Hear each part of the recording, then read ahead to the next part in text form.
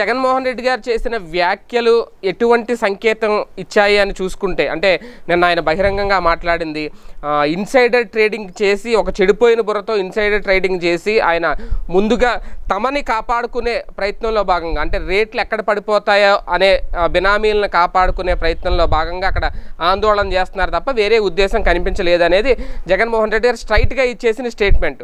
దీని సంకేతం ఏంటి? ఇంకా భవిష్యత్తులో అమరావతి రాజధాని రైతుల సమస్య పరిష్కరించవనా? ఇంకా అది దిశ ఆ దిశగా ప్రభుత్వం పట్టించుకునే ఉద్దేశం లేదు అని చెప్పి తేల్చేసి చెప్పేసినట్టే చూడాలా? రైతుల సమస్య పరిష్కారం అన్న పాయింట్ అందులో రాలా.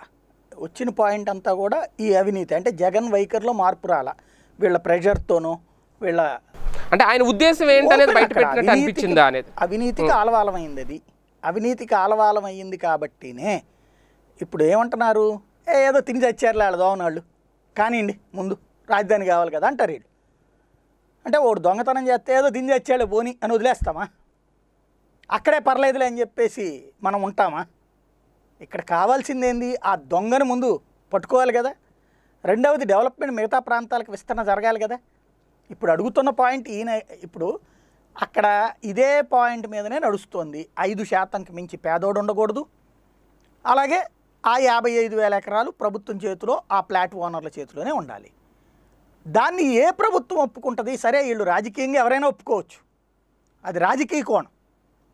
కానీ ఇక్కడ జగన్ ఒక్కడు ఆ విషయంలో మాత్రం మొండిగా ఉంటున్నాడు. అది ప్రజలు హర్షిస్తారా లేదా కాలం డిసైడ్ చేయాలి. బట్ అతను చెప్తోంది వైజాగ్ ఏదో కోట్లు సంపాదించి పెడతామన్నది కాదు అక్కడ. వైజాగ్లో పని చేసేసుకోవచ్చు ముందు ఇప్పటికిప్పుడు. అంతే కదా? రెండు బిల్డింగులు ఉంటే చాలు పని చేసుకోవచ్చు. అక్కడైతే లక్షన్నర కోట్లు ఖర్చు పెట్టక్కర్లేదు కదా? రెండవది ఏంటి? ఇక్కడ ఎంత పోసినా సరే రూపాయికి రెండు రూపాయలకి అవుతుంది ఇక్కడ ఇక్కడ పదివేల కోట్లు రేపు పోద్దాం అనుకుందాం. ఏమవుతుంది? అండర్ గ్రౌండ్ డ్రైనేజ్ నిర్మాణానికి అవుతుంది. కానీ ఎక్కడ పోస్తున్నాం ఇది? ఎవరైతే సంపాదించుకున్నోళ్ళు ఇప్పుడు రైతులు ఇందులో ఉంటారు. ఇరవై శాతమో ముప్పై శాతమో మిగిలి ఉంటారు. మిగతా వాళ్ళు ఎవరు? రైతు దగ్గర భూమి కొన్నటువంటి వాళ్ళు. రైతు దగ్గర భూమి కొన్న వాళ్ళు కూడా రైతుగానే చలామణి అవుతున్నారు.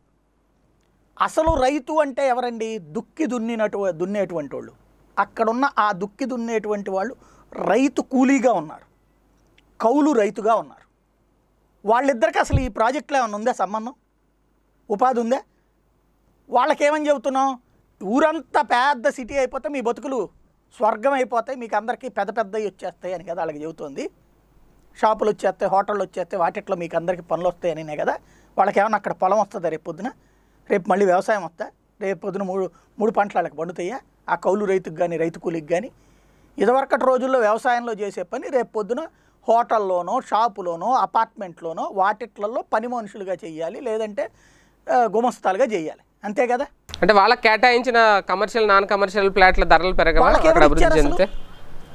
వాళ్ళకి కదా అంటే వేల మందికి ఇస్తున్నారు. అది ఇంటి మాత్రమే. ఇల్లు మాత్రమే కదా వాళ్ళకి? ఉండటానికి ఉంటుంది. తినటానికి? ఇదివరకైతే ఉపాధి ఉంది అక్కడ. ఏంటిది? పంట పండించుకోవడం. ఆ ఉపాధి ఇప్పుడైతే లేదు కదా. ఇప్పుడు ఏం చేస్తున్నారు? ఈ రైతుల దగ్గర ఎవరైతే ఈ అమ్మినటువంటి రైతుల కొంచెం లగ్జరీగా బ్రతుకుతున్నారో వాళ్ళ ఇళ్ళలో పని మనుషులు గాను ఆయా పాలేర్లు గాను ఇట్లాంటివి చేస్తున్నారు. పనే ఉంది ఇంకా అక్కడ అసలు వ్యవసాయం? వేరే కూడా ఏం లేదు కదా అక్కడ. ఇదివరకేంటి? ఆ బిల్డింగులు కట్టేటప్పుడు అవి వాటిట్లో పనులకు వెళ్ళారు కొంతమంది. కొంతమంది అవతల ఏరియాలకు వెళ్ళిపోయారు. లక్షా ఇరవై వేల నుంచి లక్ష యాభై వేల మంది వాళ్ళే ఉన్నారు అసలు. ఆ నియోజకవర్గంలో. నష్టపోయింది వాళ్ళు మెయిన్. వాళ్ళు ఒక పక్కన నష్టపోయారు. ప్రజలకేమో గ్యారంటీ లేదు. అవినీతి ఏమో జరిగిపోయిందని ఒప్పుకుంటున్నారు ఇక్కడ. ప్రత్యక్ష సాక్ష్యం ఏంటి అవినీతి జరగడానికి?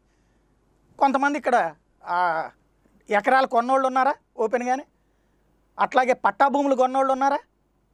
వాళ్ళకు కూడా రెగ్యులరైజేషన్ ఈ పేరు మీద ఇచ్చేశారు కదా. మామూలుగా అయితే నాలుగున్నర వేల నాలుగు వేల ఎస్ఐండ్ ల్యాండ్స్. అవి కొనకూడదు కదా? వాళ్ళకైతే ఎకరానికి ఎకరం వీళ్ళతో ఇచ్చినట్టు ఇచ్చేయచ్చు కదా? లెక్క ప్రకారం వాళ్ళు వ్యవసాయం చేశారు వీళ్ళు వ్యవసాయం చేశారు. అప్పుడు వాళ్ళకి వీళ్ళకి ఒకటే భూమి ఇవ్వాలి కదా? వాళ్ళకి ఇవ్వకుండా అది లాక్కుంటామని చెప్పి వాళ్ళు ఐదు లక్షలకో పది లక్షలకో పదిహేను లక్షలకో అమ్మేసుకున్నాక ఆ కొనుక్కున్న వాళ్ళకి ఇక్కడ భూమి హక్కు ఇచ్చారా లేదా? వాళ్ళకి ఇక్కడ ప్లాట్ ఇచ్చారా లేదా? అది అవినీతా కాదా? బహిరంగ అవినీతి కదా అది? మరి అది విచారణ జరగద్దు. లేకపోతే అట్లాంటి వాటిని వంక పెట్టుకుని అమరావతిని బలిపశువుని చెయ్యొద్దు. అంటే ఏం చేయాలా అవినీతి దోవన అవినీతి తినేస్తారు. కొన్ని వందల మంది ఆడ పిఏలు పిఆర్ఓలు డ్రైవర్ల పేర్ల మీద ఫ్లాట్లు కొనేసుకుంటారు. ఇక్కడ నష్టపోయినటువంటి ఆ నాలుగు వేల ఎకరాలకు సంబంధించినటువంటి రైతులకి వాళ్ళు ఇచ్చిన బెచ్చాంతో బతికేయాలి వాళ్ళు. అడగకూడదు. ప్లస్ ఇక్కడేమో ఈ యాభై ఐదు వేల ఎకరాలు ప్రభుత్వం చేతిలోనూ ఈ ప్లాట్ ఫ్లాట్ ఓనర్ల చేతిలోనే ఉంటుంది. అందులో బయట పబ్లిక్ ఎవరికి సంబంధం ఉండదు. పేదవాళ్ళు కూడా లోకల్ వాళ్ళు ఐదు శాతమే ఉండాలి బయటోడు ఎవడు రాకూడదు. కానీ రాష్ట్రం మొత్తం సొమ్ము తీసుకొచ్చి అక్కడే పోయాలి. లక్షన్నర కోట్ల నుంచి నాలుగున్నర లక్షల కోట్లు. పోస్తే అప్పుడు అది డెవలప్ అవ్వాలి.